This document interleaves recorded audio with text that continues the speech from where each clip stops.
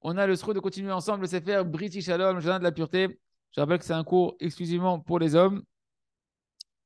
Et on avait commencé le deuxième chapitre de la sanctification, la Gdusha, des sept lumières du visage. Donc, on avait vu la Torah, la Torah 21 du Likuté Moharan. Et on avait vu qu'il y a deux sortes d'intelligence, rappelez-vous. Une qui vient après beaucoup, beaucoup d'introductions pour faire comprendre les choses. Et une deuxième, et celle-là on l'appelait Achor, et une deuxième intelligence qui vient extrêmement vite. C'est une abondance divine, un flux divin qui descend sans aucune préparation. Les choses, elles, arrivent directement limpides et compréhensibles de manière fluide. Ça s'appelle le Sechel qu'on avait appelé l'intelligence Kedem de devant. Chacun d'entre nous, les amis, c'est évident qu'en réalité, on voudrait tous servir Kadosh Baruch avec, avec enthousiasme, avec, avec, de la ferveur, avec du feu à l'intérieur de nous. On voudrait tous prier Bessimcha, on voudrait tous étudier Hamash ardemment, faire des brachot avec Kavana, etc. La Gemara, elle raconte sur Rabbi Akiva que lorsqu'il priait, Rabbi Akiva, lorsqu'il priait, Rabbi Akiva, on le laissait d'un côté de la pièce, dans un coin de la pièce, et on le retrouvait à la fin de sa Hamida dans un autre, endroit de la pièce de la synagogue. Pourquoi? Tellement il, se prosternait avec feu, etc., que ça lui faisait perdre des bons, il se déplaçait sans faire exprès.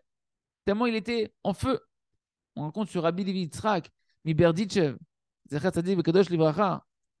qu'il avait un match, c'était connu, qu'il avait un feu divin en lui extraordinaire. Il servait à Kadosh Baruch avec tout son corps et avec toute son âme.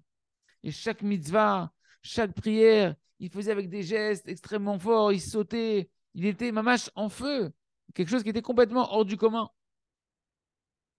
Et pareil, tous les tzadikim, ils ont cherché à servir à Kadosh Baruch avec leur cœur, avec un désir ardent, une volonté forte, avec beaucoup de joie et d'enthousiasme. Comment c'est possible d'arriver, les amis, à cette, ferveur-là? Comment on peut arriver à ce feu intérieur? C'est ça qu'on va voir ensemble dans ce chapitre. Rabbeinu Akadosh, il nous enseigne dans cette Torah-là, la Torah 21 du Likuté Moharan. Écoutez bien la suite du, langage du Likuté Moharan. Vous trouvez cette Torah aussi sur le, site Joie de Vivre, dans la rubrique Études sur texte. On l'a fait en entier, cette Torah, Hashem, sur texte. D'où il naît l'enflammement du cœur.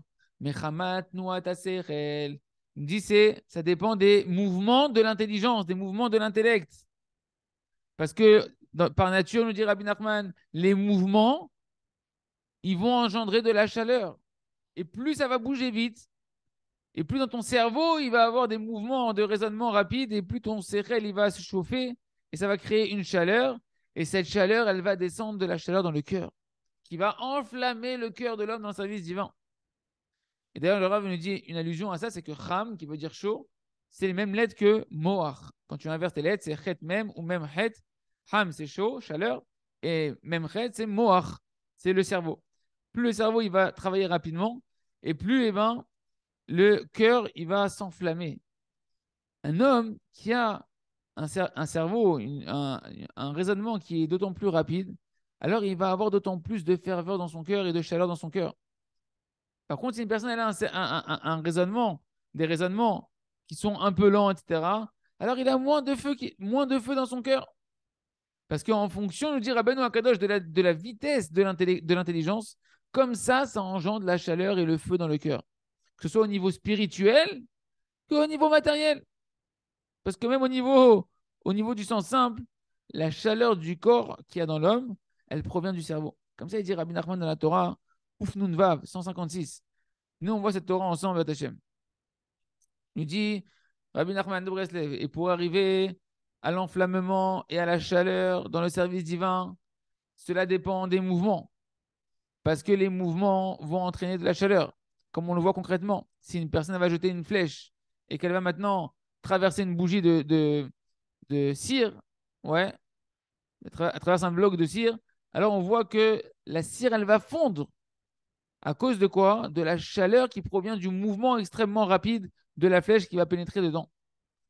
Et pareil, lorsqu'un homme, on voit qu'il bouge. Nous-mêmes, quand les hommes, ils disent ah, tu bouges à droite, à gauche, si tu te mets à courir, si tu te mets à sauter, tu vas aller vite, etc., tu vois que plus tu fais des mouvements et plus tu transpires. Mais en réalité, nous dit Rabbi Nachman, l'essentiel du mouvement, il provient de la tête. Parce qu'avant de bouger le corps, qui c'est qui, qui, envoie les, messages? C'est la tête. Au début, tu avais, tes pensées des pensées qui étaient tranquilles, posées, etc. Et puis d'un coup, la pensée, elle commence à aller, elle commence à bouger d'une pensée à une autre pensée, à une autre pensée, etc. Lorsque tu étais assis tranquillement, alors ta, pensée, elle était aussi tranquille, etc. Comme une personne après, elle veut maintenant se lever. Elle commence à réfléchir que eh, je veux me lever, etc. Et commence à bouger une première pensée dans sa tête. Et comme ça, ça commence à plus, voilà, et, plus, et plus dans la tête, ça va bouger et ça, et ça va s'activer, et plus ça va commencer à faire descendre de la chaleur. Il dit, il dit Rabbi c'est pourquoi quand lorsqu'un homme il dort, il faut le couvrir. Pourquoi on couvre, on se couvre d'Afka quand on dort? Parce que vu que la pensée quand on dort, elle est tranquille, elle est au repos, elle est en, mode euh, veilleuse, alors il n'y a pas de chaleur. Parce que la chaleur provient de, des mouvements du cerveau et des pensées. Et Rabbi dit si c'est vrai au niveau physique, c'est aussi vrai au niveau spirituel. Lorsque la pensée, elle va s'éveiller à, réfléchir sur la grandeur du Créateur, béni soit-il, sur sa Torah Akdosha, et qu'on va commencer à bouger dans la tête d'une pensée à une autre pensée, chaque mouvement qu'on va faire dans les pensées, elle va engendrer de la chaleur et elle va enflammer le cœur pour Hachem Idbarach. Comme ça, nous dit Rabbi Nachman. Donc on voit ici quoi? Que plus le cerveau d'un homme il va être rapide, plus ça bouge vite à l'intérieur, plus ça court, comme ça, ça va engendrer de la chaleur et un enflammement.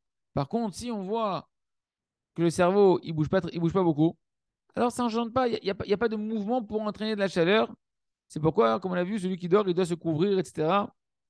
Par contre, si une personne est en train de dormir et dans son rêve, elle est en, train de rêver, et dans son rêve, elle est en train de courir, elle va transpirer même dans son lit. Regardez comment c'est les plaïm. Tu vois que ce n'est pas, pas le corps. Une personne, elle dort. Elle fait un rêve là-bas. Dans ce rêve, elle est, poursuivie ou elle poursuit quelqu'un et elle court. Elle se réveille en transpiration. Putain, elle n'a rien fait. Elle n'a pas bougé. Son corps, il n'a pas bougé. Oui, mais dans le cerveau, ça a bougé pareil que si jamais elle, il y a eu les informations de bouger très vite dans le cerveau, comme si elle était en train de le faire en vrai. Le corps, il transpire. La chaleur, elle vient. Et si Shalom, le cerveau de l'homme, il court pour des mauvaises pensées, et que ça commence à aller vite, fuser des mauvaises pensées, et eh ben ça engendre aussi, comme on voit, quelqu'un qui est en chaleur, comme on dit dans le, langage, dans le langage vulgaire, et eh ben pour des mauvaises choses, ça provient que dans sa tête, ça bouge très très vite dans des mauvaises pensées, que Dieu nous en préserve. Comme on voit concrètement, Et comme ça, c'est dans la Gdusha de l'autre côté. Lorsqu'un homme, eh ben, il se réveille à éveiller son cerveau dans des pensées saintes et, de passer d'une pensée sainte à une pensée sainte, eh ben, ça engendre un feu dans le cœur de l'homme. Et Hashem qu'on puisse attirer le feu de Rabbi Nachman de Breslev qui a dit Aïcheli, tout cas mon feu il brûlera jusqu'à la nuit du Mashiach, et qu'on apprenne à comprendre comment faire pour pouvoir attirer sur nous cette intelligence qui vient extrêmement vite et qui va nous enflammer dans le service divin. Badashem Barach, Chazak Venitrazek.